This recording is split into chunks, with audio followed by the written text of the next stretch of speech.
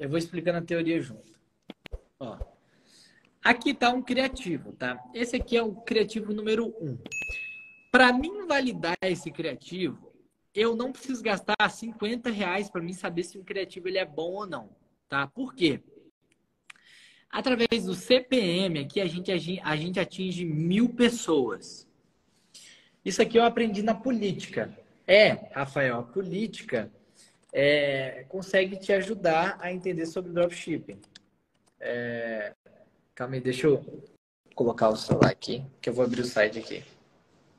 Ah,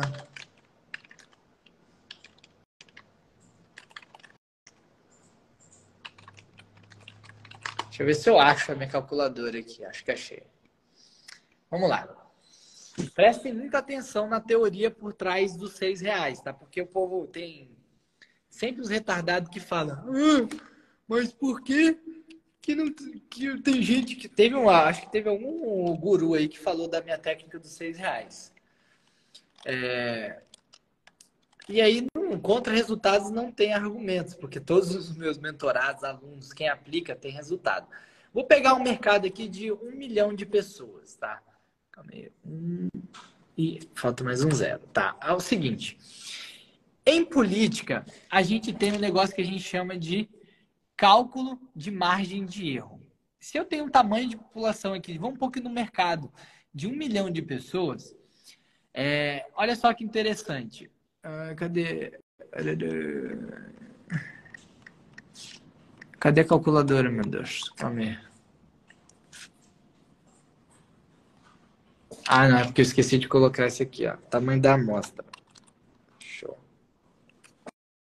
Olha só. Tamanho do, da população. Aqui você pode colocar até mais. Se você quiser colocar 10 milhões, não tem problema, tá? Ó, 10 milhões aqui é o tamanho. Olha só, presta muita atenção. 10, 95, 37, sério. É, 10 milhões de pessoas o tamanho da população. Para um grau, vamos colocar um grau de confiança de 90% e tamanho da amostra, mil pessoas. Olha só isso daqui. A margem de erro vai ser mais ou menos de 3%. É isso aí.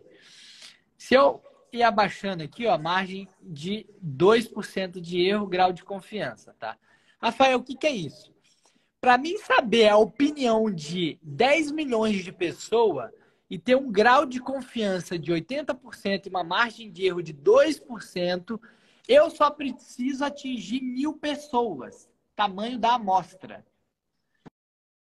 Rafael, então de onde surgiu a técnica dos seis, dos seis reais?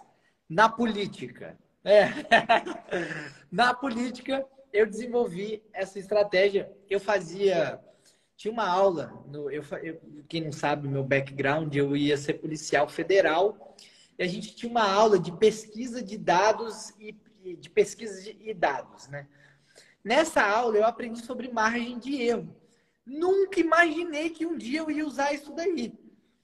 E tá aqui eu no dropshipping usando um negócio que eu aprendi lá na criminologia sobre o que, que você tá rindo, Sérgio? Gostou? Sua cultura, papai!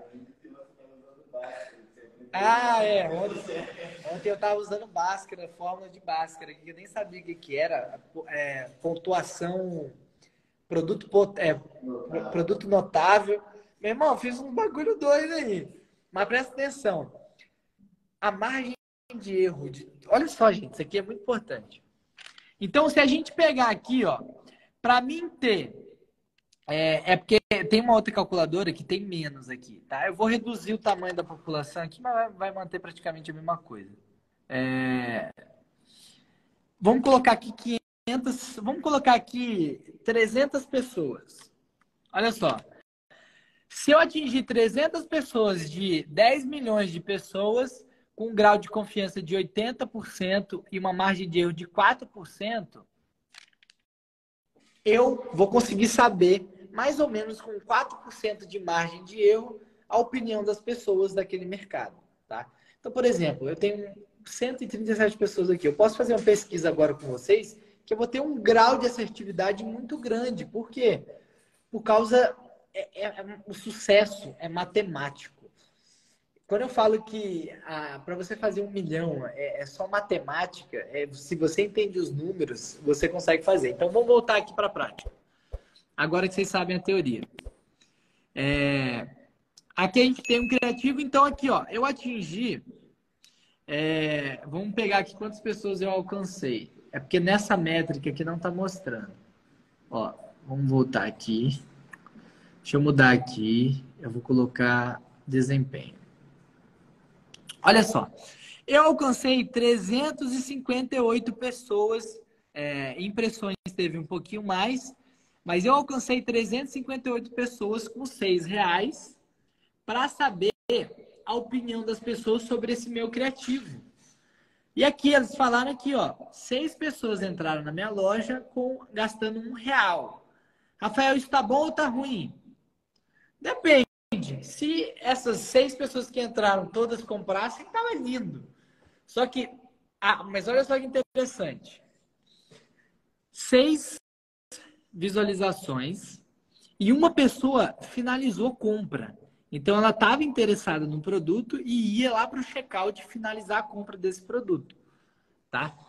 E aí o que aconteceu? No próximo dia, esse criativo rodou, é, as métricas pioraram. Olha só meu custo por visualização agora. Saiu de um real, foi para um e setenta Então ele praticamente dobrou. Quando o Facebook começa uma campanha, por exemplo, estou com métricas de um real e depois no próximo dia ele sobe, quer dizer que com mais amostragem, o meu criativo ele não teve a performance que estava desejando, quer dizer que eu estou perdendo no leilão, estou ficando lá para trás e meu criativo, a chance dele performar é quase zero. Então, gastando aqui, ó, literalmente eu gastei mais seis reais porque teve uma intenção de compra. É... Cadê você? Ah, não, na verdade, eu falei bosta aqui. É porque eu estava vendo aqui. Nossa, pessoas pobres não é assim que se faz. O que, que o povo está falando? Deixa eu desativar os comentários aqui que eu não estou acompanhando. É, aqui, na verdade, ó, eu testei novos criativos. Eu tinha esquecido esse detalhe. Estava viajando aqui lá embaixo nas métricas. É, mas aqui, ó, eu testei novos criativos. E por isso que eu falo da importância de testar novos criativos. Ó, eu gastei cinco reais, três, três, três, para mim saber se aquele criativo. Olha só, qual que é a chance desse criativo aqui, ó, que está performando uma bosta, performar bem, eh, quatro reais? Não vai performar. Então, o que, que eu faço? Eu faço novos testes. Aí, no próximo dia, o que, que eu fiz? Eu fiz novos criativos. E o ideal era eu ter colocado um filtro aqui, ó, que agora vai ficar mais fácil. Ó, fiz novos criativos e saiu uma venda no boleto. Ó, saiu uma venda no boleto. Aí, vamos para o próximo dia. Eu testei novos criativos, ó. Se a gente pegar aqui, ó, criativo 13, 12, 11. Vocês estão vendo? Então, olha só. Tá aqui, eu já gastei aqui desde o dia 15, ó. Dia 15 ao 18, eu gastei quantos reais? Valor gasto. 60 reais. Só que eu fui testando criativo, porque eu sei que o jogo é criativo. E aqui eu testei praticamente 11 criativos, tá? Aí, dia 19, o que, que eu fiz? Eu testei mais criativo, tá? E aí, olha só o que aconteceu no dia 19. Eu achei um, dois, três, quatro criativos muito bons. E olha só meu custo por finalização aqui, ó. 2,22, 3,60 média. Comecei a ter vendas, vendas, vendas. Compras únicas, olha só o meu retorno sobre investimento.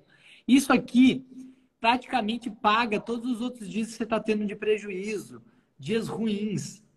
Então aqui, ó, depois de 15 criativos, 15 criativos, eu consegui achar três criativos que performaram e depois eu, eu deixei mais alguns dias e validei. Ai. Cara, quando eu falo que criativo é 80% dos seus resultados no dropship, que o criativo ele já vende, ele já eleva o nível de consciência, ele já desperta o desejo, a pessoa já fica o cartão de crédito na mão dela. É, muita gente vai compartilhando, viralizando o criativo. Ele tem os sinais que manda para o algoritmo, que é um criativo muito bom. Quando você faz isso, a página era a mesma. Aí a pessoa fica, ah, meu problema é tema, meu problema é loja, meu problema é copy. Não é bosta nenhuma disso. É só você entender como fazer criativos poderosos, porque o início do funil, a parte mais importante que vai trazer pessoas para o início, para alimentar todo o seu ecossistema, é o seu criativo. Isso daqui não tem nada a ver com o seu criativo. Na verdade, tem. Porque o criativo desperta o desejo, eleva o nível de consciência, qualifica o tráfego que você está mandando, faz várias coisas. Só que se você não fizer bem feito um criativo, você nunca vai ter resultado no dropshipping. Esquece. Não só no dropshipping, na sua vida do digital. Nunca. Nunca vai conseguir escalar um produto. E aí eu ensino, eu mostro na prática, e aí eu continuo vendo faz 15 criativos diferentes. A pessoa faz o mesmo criativo 15 vezes e muda o público. Mas não é público, é criativo.